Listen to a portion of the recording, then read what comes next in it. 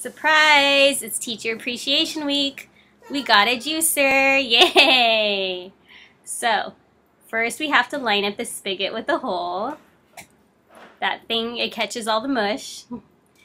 Then we have this fancy rotating disc. Make sure the arrows line up nice and straight. Click! So fancy. Then we have this fancy chute. You line it up on top. There's arrows. Next, you move up the bar and make sure it clicks because it won't work unless the bar is attached. We have a fancy food pusher and a juice container with a lid. The lid um, lines up in the back. And now we're ready to juice. I have an apple. You can wash it if you want.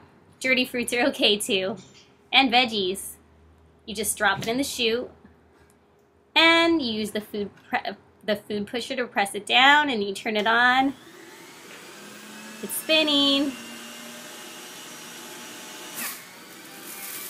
That was fast. Lots of juice. Alright, it's done. You can turn it off again.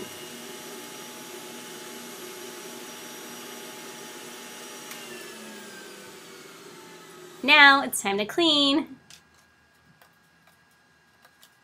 I'm really fast at cleaning. Look at this. So amazing. So you just wipe all the mush off. You can put in another container because we're going to throw that in the compost bin. And then you just rinse. If you have soap, that's okay. You can use soap.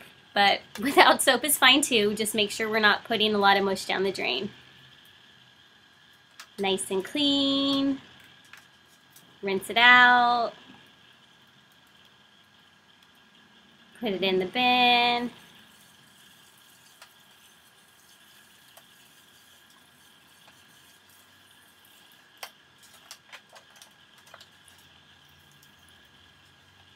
What am I cleaning? Oh, that's the lid. All right, now to clean this. This is the hardest part. You can use this fancy scrubbing brush. I like to scrub the outside and the inside and I usually scrub it clockwise.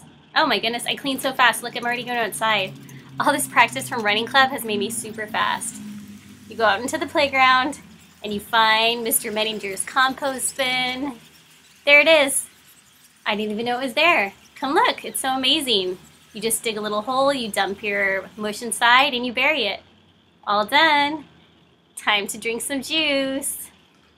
Don't forget to share. Yum, yum, yum. It's nice and frothy.